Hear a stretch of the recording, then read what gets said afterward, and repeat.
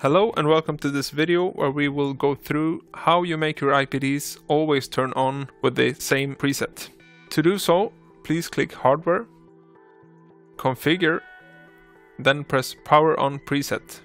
Default here is last setting, so whatever you are doing when you power off the IPD, it will turn on in that state. But if you want it always to turn on with a specific preset, you can go here I've made a turn on preset just for this video and then press OK.